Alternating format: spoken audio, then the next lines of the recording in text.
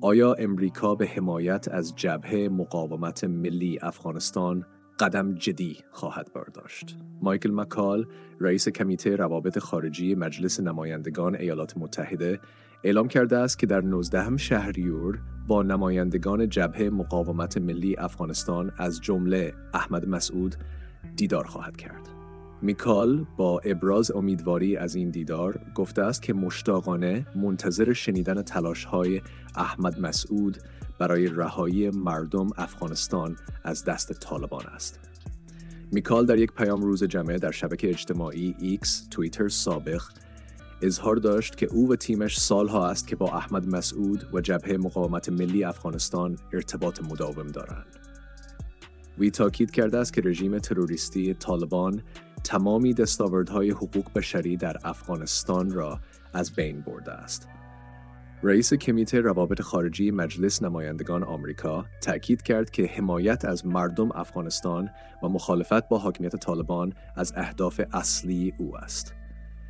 وی مأموریت جبهه مقاومت ملی افغانستان را افتخار آمیز توصیف کرده و افزود که گزارش کمیته روابط خارجی مجلس نمایندگان آمریکا درباره خروج ایالات متحده از افغانستان در 18 شهریور منتشر خواهد شد. در این جلسه احمد مسعود نیز حضور خواهد داشت.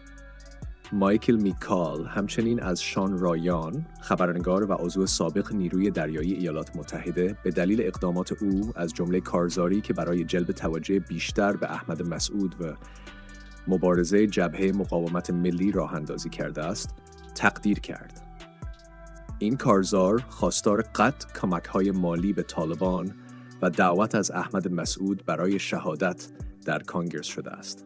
تاکنون ده ها هزار نفر این تومار را امضا کردند. احمد مسعود هم اکنون در آمریکا به سر میبارد و مسئول روابط خارجی جبهه مقاومت ملی علی میسم نظری از اظهارات مکال استقبال کرده و گفته است که این جبهه با اشتیاق منتظر دیدار با رئیس کمیته روابط خارجی مجلس نمایندگان و تیم او است.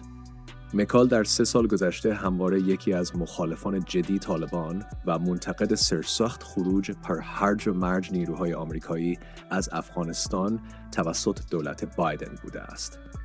کمیته روابط خارجی مجلس نمایندگان آمریکا تاکنون چندین مقام دخیل در روند خروج از افغانستان را احضار کرده است.